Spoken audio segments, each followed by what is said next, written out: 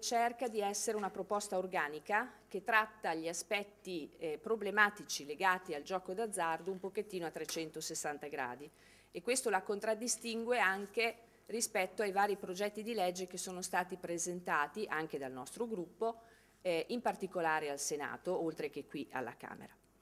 L'elemento fondamentale che prevediamo nel disegno di legge è il divieto totale di pubblicità. Abbiamo introdotto l'obbligo dell'utilizzo delle slot machine con la tessera sanitaria oppure con il codice fiscale, eh, prevedendo appunto che questo sia previsto soltanto per, per eh, maggiorenni. Abbiamo introdotto il riconoscimento della ludopatia come malattia sociale e dunque l'introduzione della ludopatia, innanzitutto una definizione esatta di quella che è la dipendenza da gioco patologico,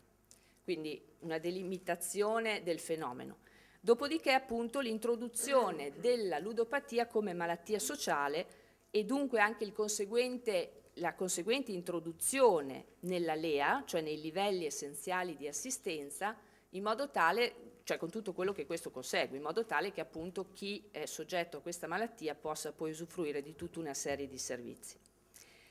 Abbiamo previsto l'istituzione di un osservatorio finalizzato a monitorare il fenomeno, l'apertura di conti correnti dedicati da parte degli esercenti, abbiamo previsto l'istituzione di un registro delle scommesse, sempre da parte degli esercenti,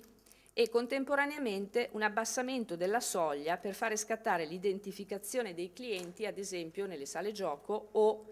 anche a livello di giochi online. Abbiamo potuto appurare quanto eh, su tutto il territorio nazionale siano già state chiuse o siano in corso indagini che vedono appunto eh, gli interessi della criminalità organizzata strettamente connessi con eh, il fenomeno del gioco d'azzardo.